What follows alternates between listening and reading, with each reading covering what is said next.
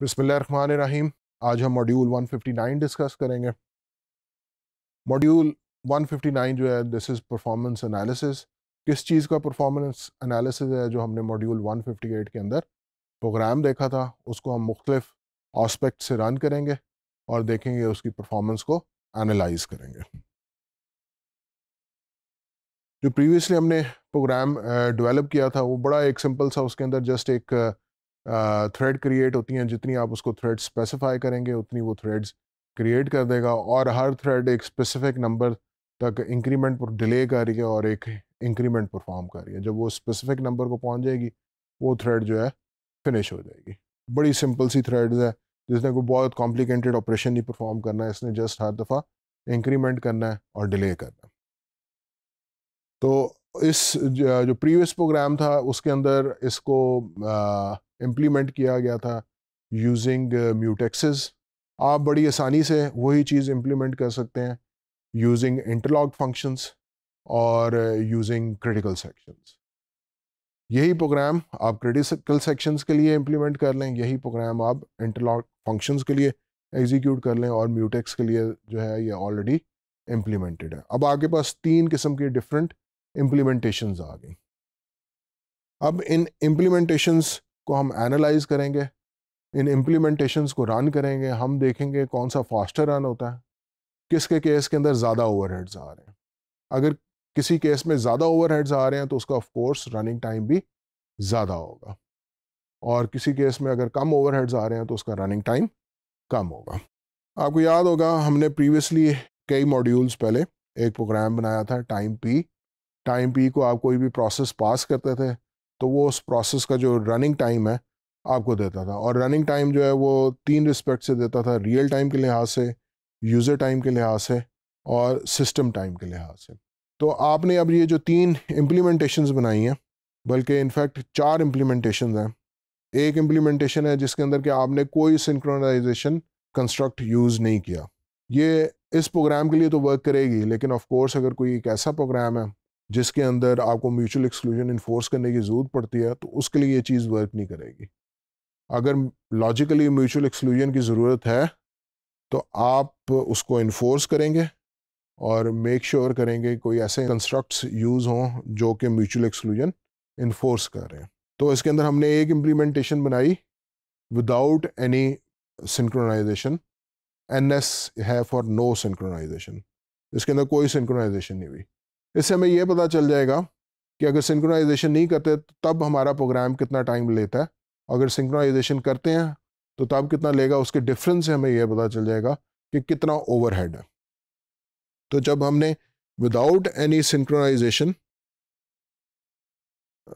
इस प्रोग्राम को रन किया तो आप इसका रियल टाइम भी देख सकते हैं, इसका यूज़र टाइम भी देख सकते हैं, और इसका सिस्टम टाइम भी देख सकते हैं। फिर बाद में आपने इंटरलॉक्ड फ़ंक्शंस का इस्तेमाल किया।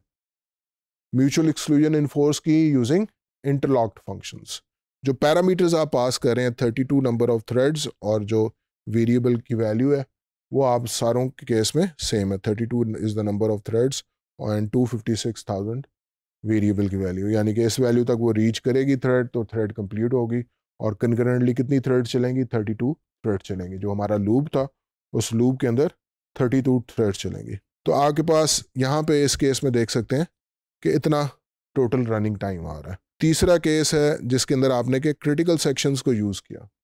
क्रिटिकल सेक्शंस को यूज़ करते हुए आपके पास ये रनिंग टाइम आ रहा है। सेम पैरामीटर्स हैं thirty two threads and two fifty six thousand variable की वैल्यू और म्यूटेक्सिस एम एक्स म्यूटेक्सिस का इस्तेमाल किया। म्यूटेक्सिस को इस्तेमाल करके आपके पास ये रनिंग टाइम आ रहा है। अब आप इसको अगर एनालाइज करें तो आपको पता चलेगा कि ये वाला तो केस है जब आपने किसी किस्म की म्यूचुअल एक्सक्लूजन का सबसे पहला जो केस है एनएस वाला, वो केस है जिसके अंदर आपने किसी भी तरह का म्यूचुअल एक्सक्लूजन का कंस्ट्रक्ट यूज़ नहीं किया। इसके अंदर जो टाइम आपको लग रहा है और in case of interlocked function जो आपको टाइम लग रहा है, ये दोनों तकरीबन कंपेरेबल है। इसका मतलब है इंटरलॉक्ड फ़ंक्शन के अंदर मिनिमम ओवरहेड है, बहुत कम ओवरहेड है। और इंटरलॉक्ड फ़ंक्शन के अंदर जो टाइम लग रहा है और क्रिटिकल सेक्शंस के अंदर जो टाइम लग रहा है, उसमें टू फोल्ड्स का फ़र्क है।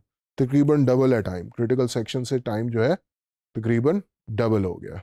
और जो लास्ट केस है, जिसके अंदर क्या म्यूटेक्सिस का इस्तेमाल कर रहे हैं म्यूटेक्सिस के अंदर ये केस जो है, ये तकरीबन थ्री फोर फोल्ड्स जो है, ये टाइम जो है इंक्रीज़ हो जाता है। तो इसका मतलब है, इससे भी ज़्यादा टाइम हमें कंज्यूम हो रहा है म्यूटेक्सिस के इस्तेमाल में। तो सबसे कम ओवरहेड हमें किसका नज़र आ रहा है? इंटरलॉक फ़ंक्शंस का।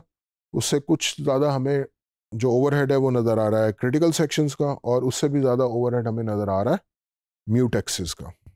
तो हमने इसके अंदर देखा कि जो हमारे अगर हमने कोई किसी किस्म की भी सिंक्रोनाइजेशन नहीं यूज़ की तो उसके अंदर लीस्ट ओवरहेड आएगा, कोई ओवरहेड नहीं आएगा।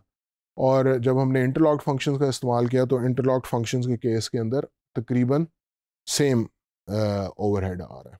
और क्रिटिकल सेक्शंस की जो कॉस्ट है, वो तकरीबन इंटरलॉक्ड फ़ंक्शन से डबल है। और म्यूटेक्सिस की कॉस्ट जो है, वो कई फोल्ड्स है as compare to interlocked functions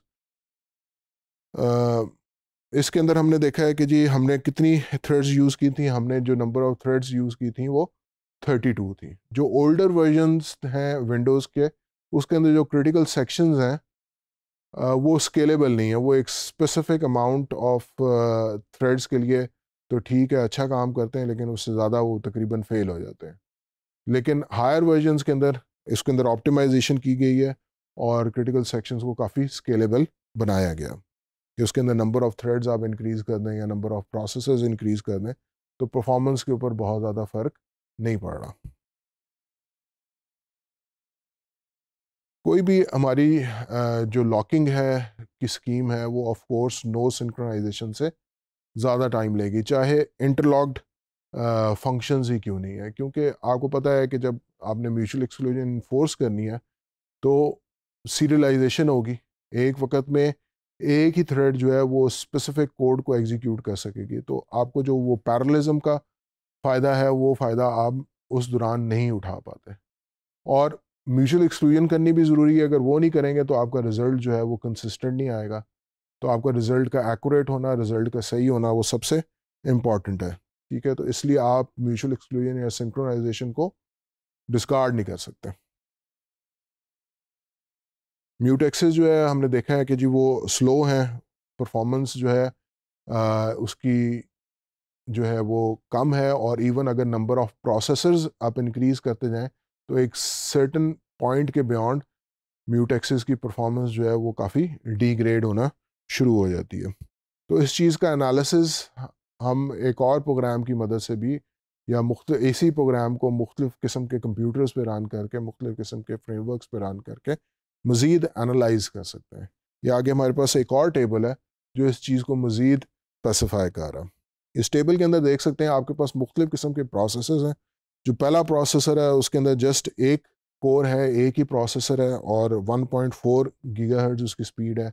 दूसरी रो के अंदर आपके पास दो प्रोसेसर्स हैं और 2.0 गीगाहर्ट्ज़ स्पीड है और तीसरी रो के अंदर फोर प्रोसेसर्स हैं और 2.4 गीगाहर्ट्ज़ स्पीड है और फोर्थ रो के अंदर एट प्रोसेसर्स हैं और 1.7 गीगाहर्ट्ज़ स्पीड है। इसमें आप देख सकते हैं क्रिटिकल सेक्शन के इस्तेमाल जो जो नंबर ऑफ़ प्रोसेसर्स इंक्रीज़ हो रहे हैं। क्रिटिकल सेक्शन के इस्तेमाल से जो टाइम ड्यूरेशन है, जो टाइम लगेगा, वो रिड्यूस हो रहा है। यानी कि जब एक प्रोसेसर था, जो टाइम है, वो 14 यूनिट्स है, और जबकि एट प्रोसेसर हैं, जो टाइम है, वो टू यूनिट्स है। लेकिन म्यूटेक्सिस के केस के अंदर आप देख सकते हैं कि जो जो नंबर ऑफ़ प्रोसेसर्स इंक्रीज़ हो रहे हैं तो जो ओवरहेड्स हैं, वो भी इंक्रीज़ हो रहे हैं। आप देख सकते हैं कि एक प्रोसेसर के साथ जो टाइम लग रहा है, वो 55 यूनिट्स हैं फोर के साथ 118 यूनिट्स हैं और एट के साथ मज़ीद इंक्रीज़ हो गया टू सिक्सटी टू यूनिट्स हैं। तो म्यूटेक्सिस अगर तो सिंगल प्रोसेसर हैं या कम नंबर ऑफ़ प्रोसेसर हैं, तब तो कुछ ऑप्टिमली वर्क कर रहे हैं, लेकिन हमें नज़र आ रहा है कि जो जो नंबर ऑफ़ प्रोसेसर्स इंक्रीज़ करते जाएँगे तो टैक्सेस के केस के अंदर भी आपको ह्यूज ओवरहेड्स फेस करना पड़ेंगे।